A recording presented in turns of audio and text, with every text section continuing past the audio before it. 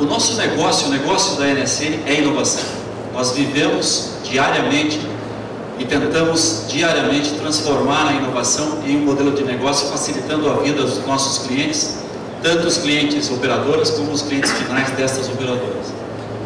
E há três anos atrás, todos acompanharam a nossa história de transformação, nós definimos que a nossa inovação seria focada apenas num ponto, nós seríamos especialistas em banda larga móvel.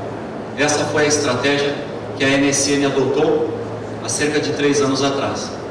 Muito bem, três anos se passaram, a estratégia foi super bem implementada, eu realmente fico surpreso pela, pelo tamanho sucesso e, e é difícil você ver uma indústria é, dentro do, do, ramo de telecomunicações se reinventar dentro do seu próprio negócio, foi o que a NSN fez.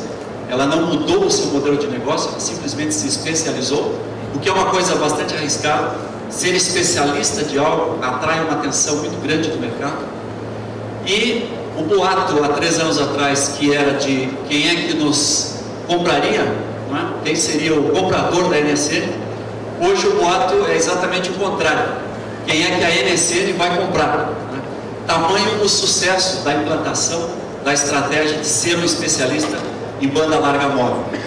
Isso aconteceu e fazemos questão de que todos os dias funcionários, colaboradores, parceiros, e temos uma infinidade de parceiros, porque sendo especialistas, várias dos, das partes do negócio que não estavam alinhadas com a estratégia foram para parceiros, então temos um sistema de colaboração muito grande, mas a estratégia foi implementada de maneira incrível. Né? Hoje temos um portfólio extremamente otimizado, inovador e reconhecido por vários dos nossos clientes. Então essa é a forma que nós enxergamos a palavra mágica da inovação. É o nosso próprio negócio, é o nosso dia a dia dentro da Nokia Solutions and Networks.